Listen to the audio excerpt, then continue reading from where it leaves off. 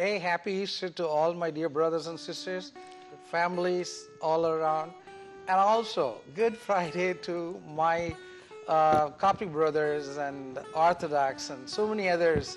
You know, it's so beautiful to really see the family of God. Uh, you know how big and huge is our family. Yes, let's sing hallelujah to the Lord because He opened the tomb.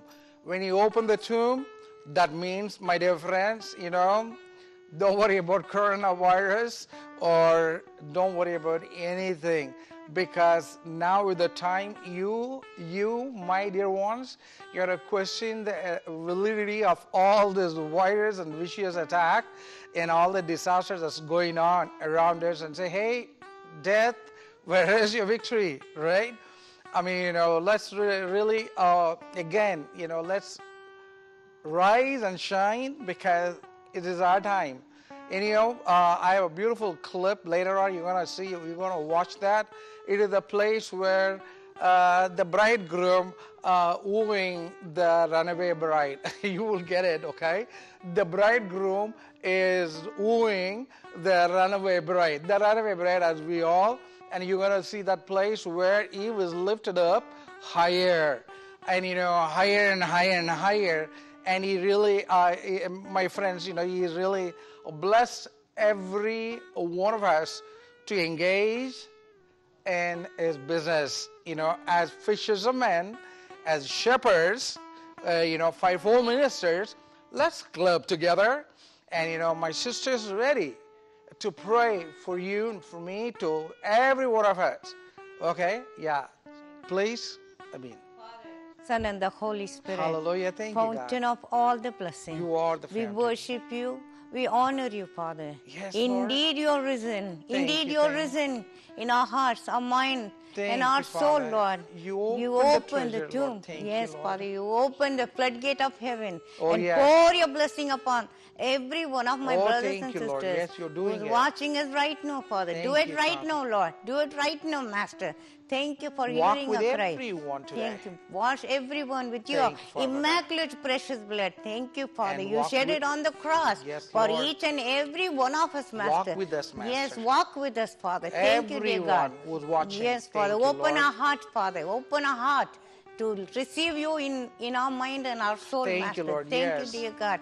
Thank you for your wonderful. Open the treasure hunt, Lord Jesus. Open your treasure and Father. Thank you, Lord. Thank you, dear God. Thank you. Open the sea, Lord Jesus. Thank you. Everything. You opened, yes, it. Lord. Yes, Thank Lord. you. Thank what you, you did. Mighty oceans you opened. Yes, Thank you, Father. Lord. Thank, you for the mighty oceans, Father. You, You open for opened it each and for every one of go. us, Master. Thank you, Lord. Thank you. We honor and we bless you, Father, for every Thank you, blessing Lord. Yes. come from you alone, Master.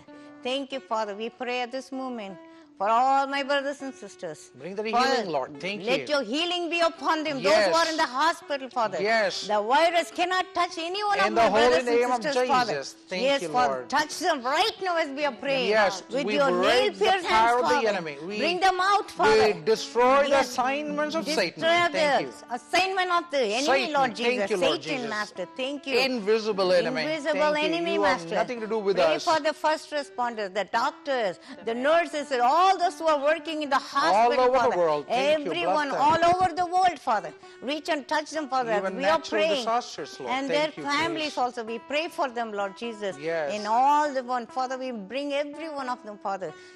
Let them receive your healing right now in the name Hallelujah. of Thank Jesus. you. In the Receive your holy healing. name of Jesus. You resurrected Jesus, Father. Receive your healing in, the, the heart and mind, Father. Jesus. Thank, you, dear you, God. Father. Pray, pray for our Mother Church. Pray for, Father, pray for our network, our CEO, our staff, and their families. Pray for America. Pray for our president, and pray for my brother, Father. you, Anoint him, anoint him, Father, to speak your good news. Thank and you, I ask all this in the wonderful name of our Lord and Savior, Jesus Christ. Amen. Amen. Amen. My friends, you know, remember I was saying that a bridegroom was wooing the bride. Who's the bride? You know, who is the bride? You know, you and I are the bride. Anyone who accepted the Lord as their Savior, the Messiah is no more in the books of the Tanakh, He is no more in the Ketuvim, He is no, no more in the Nevi'im, okay? He is no more in the Torah. He is now in the body of Christ. He is working day and night for you, interceding. How beautiful it is, my dear friends. you really want to make everything new. Remember, you know, he said he called you by a name. And, Isaiah 43, 1 onwards, 1 to 6, I called you by your name. He has chosen us. And you know, the flood will not drown you. The virus is not going to get you anymore. My dear friends, the fire is all around. It's not going to singe you because He knows your name. Because same chapter, Isaiah 43, 24, 24, 26, He says, I make everything new. Remind my word. That's why you know we're remi- reminding His voice. His words is eternal. Whoever believe in His eternal word, you know, they found salvation, right? Whoever accepted this great salv- salvific message that Christ brought, okay? John chapter 1, verse 1 to 14. Remember, my friend, whoever received him as a savior, as a sovereign Lord, as a sovereign king, the great mighty prophet, the high priest after Melchizedek. If you believe in this, you know what? You earned your doctorate degree. Okay, my friends, if you really understand that. So again, my friends, you know, we are in the Easter season. That's why, you know, if risen indeed. Is risen indeed, yes. You will raise us up again. You know, everyone war in the tomb. Whoever you are listening to me, my friends, you are in the tomb. It's not the time for the church to be under, okay? It is a time to rise and shine. Isaiah chapter 60 verse 1 to 4. Rise and shine because it's your day. It's my day to reveal this uh, refulgence glory of God. Glory of God is taken away. And the glory of God, you know, after the resurrection, you know, my friend, the fusion glory walks looking for his bride. Even though the bride, you know, after entered in the covenant, remember the covenant, the last final covenant what was the last final covenant? Upper room. Remember that upper room, my dear friends? How soon the disciples have forgotten everything. How soon, my dear friends? They're all now quarantined. They're all hunkered down. And you know, even though, you know, the woman folks said, He's no more there in the tomb. Did they believe? No. Come on, did they believe? No. They never believed. And now what? Jesus follows them. And you have to read, my dear friends, in uh, Luke chapter 24, the last chapters, okay, uh, in the synoptic gospel as well, you know, in uh, John. You know, you have to really take uh, Luke chapter 24, read. And then again, you know, Matthew chapter 28, read it from one onwards. You can really see, you won't miss the empty tomb you will, you will see all the drama that is unfolding. And, you know, they don't want to believe. You know, the woman said, you know, they thought the women are saying babblers. They thought they are nonsense, you know. No, they speak sense. They speak much sense, you know. The majority of, majority with me are the women in power, okay? So any of our friends, you know, I praise God. You know, they are, look at the tenacious faith of this woman and you all see now today, uh, as the Lord, you know, when they're all disappointed, they're all run for their life, what happened? And, you know, here the bridegroom, after, after risen, okay, after he came out of the tomb, gloriously, you know, now was a glorious form. I mean, when the house was shut, he was there, right? When they never had peace, and, and you know, he said, peace be with you. And you know what? You know, when they, with all their mind is what? Ghost, ghost. Take that away from you. Take that veil from you, my dear friend. Take that veil away. You know, if you don't understand this Redeemer, I mean, you know, still Paul says in Second Corinthians chapter 3, verses of 14 to 17, a veil is upon us. It's not only about our Jewish brothers, there's a veil upon them. It need to be taken away. And of course, he revealed to his one, the one rejects that. And my dear friends, you know, I'll let Sheila read what happened after the conversation. Here, you know, this couple of walking away. Remember, they're walking away. I mean, the dissident group started already. The division started already. I mean, here's the group.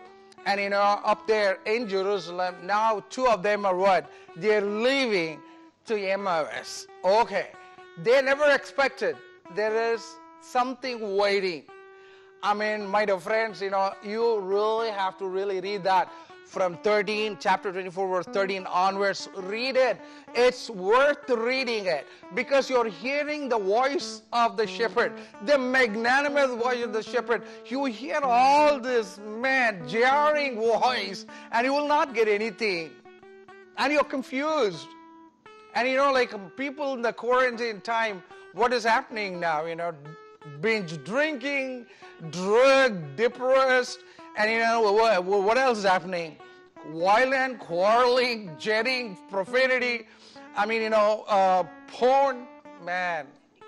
What is happening in spite of everything? Isn't it a time for us? You know, is do you think this this is we gonna be in this world forever? Otherwise, why somebody has to come and die in your place? Ignominious death, my dear friends. You know, anyhow, I'll let Sheila read it. You know, you guys read it. He, he walks with him. And, you know, unfortunately, there was a blinders on. That's not his problem because, you know, the enemy of this world, the invisible enemy, my dear friend, the prince of this world, has blinded the folks all around the world, even today. That's, you know, Second Corinthians chapter 1 to 4. You know, what happened now? You know, even the believers who accepted the Lord, who saw everything, and even the very woman, you know, they, they said, hey, he's no more. We saw him. But did they believe? No. Now, you know, just see, Jesus after, you know, he's, he's saying, like, you know, you foolish, slow to heart, slow of heart, dull-hearted guys, dummies, dummies for Jesus. That's what he called. I didn't. You just check check there. I mean, you know, my friends, you know, then after, uh, re, uh, you know, it was taking from, you know, I'll let Sheila read. Uh, Sheila, please uh, go to uh, Luke chapter 24, verse 7 onward, uh, 27.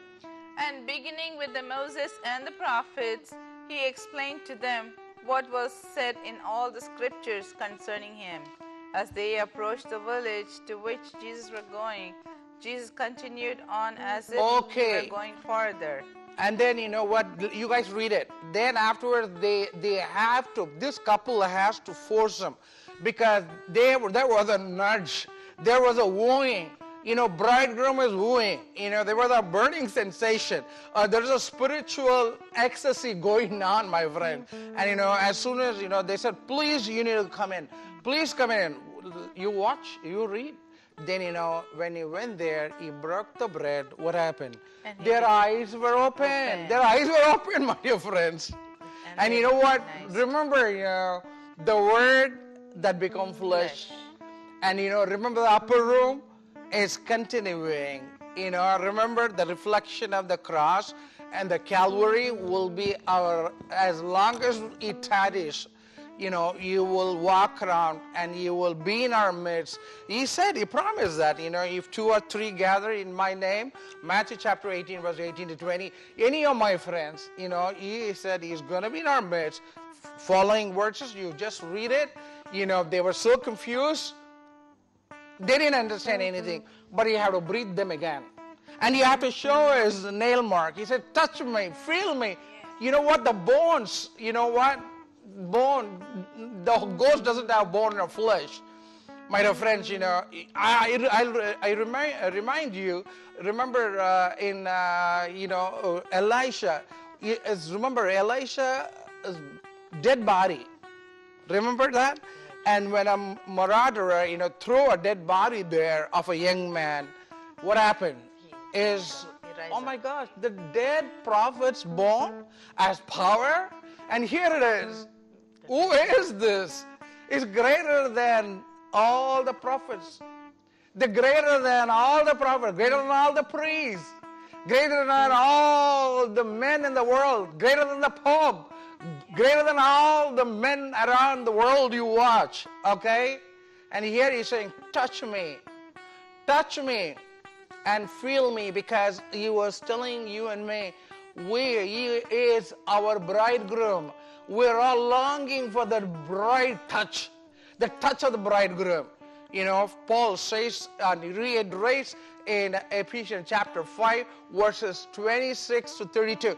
Read it. Just like, you know, husband and wife, how they're together. You know, he's saying the same way Jesus is the head, and we, the body of Christ, are together in one accord. We work in this world. You know, we are not worried about the invisible power and the forces of the enemy. You know, Paul says in Ephesians chapter 6, I don't have time, verse 10 onwards, please read it for yourself. 10, you, see, you can see all the invisible enemy in so many sizes and shape. And they're going to be there. You know, don't really, you need to know this. I mean, you know, don't stop with the virus and, you know, go back and do your own stuff. Go, don't go back to your own square one stuff. You know, my friends, you know, that's what happened to the disciples again. John chapter 21, I let you read verse, man, my time is flying, or verse 11. You can see now, again, third time, he is appearing, Christ is appearing.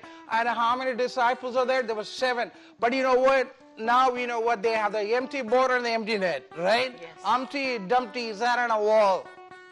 Right, my dear friends? Same old, same old going back to the square one and see what happened. You know, Si- 11. Simon Peter climbed back into the boat and dragged the net ashore. It was full of large fish, 150. Oh, my friends, you know, read further. They found 153 fish, large as well as the small. So, you know, what is that large and the small? My dear friends, what is the large and the small? You know, I will let my uh, director roll that for you and I will continue. You know, I'll let Sheila read Second Chronicle chapter 2 verse 18. See, this is the place where everything is winding up. This is the place, you know, from Jerusalem. Jesus is walking and revealing himself in such a tangible way, my dear friend, tangible way. But yet, you know, their eyes were not open. You know, he opened, he opened the scriptures and he breathed upon them, saying, like, you know, my gosh, you know, like I created you in the image. I mean, my image. Remember, Adam was created, right, in the garden. Where? Uh, Genesis chapter 20 to uh, 20, I'm sorry, chapter 2, verses 23 to 27. Please read for yourself, my dear friends. He said to the Eve when he created, what he said, deep sleep, who came? Flesh of my flesh and bone of my bone. And you know, you, this is the place you can watch. And I let Sheila read from Jerusalem. Here Jesus walks.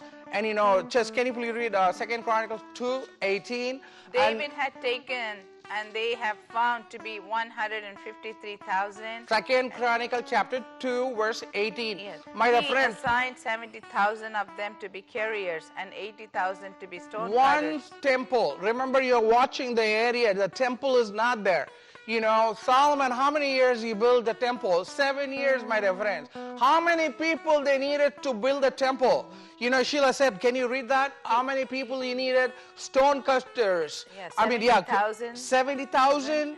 Eighty thousand stone cutters stone cutters. and uh, 3,600 Oh yeah, they foremen. need supervisors. Oh my gosh.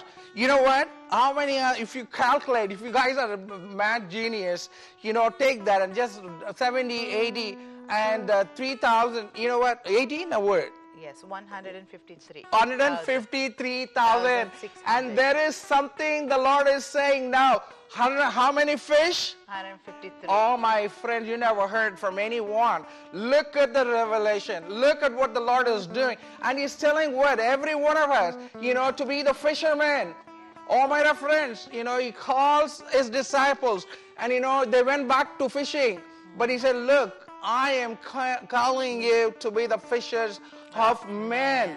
You know, I let you read. If they don't go, what happened? There is a cruel net already spread all over the world. And I let you read uh, Habakkuk, the prophet. See, you can watch all this place.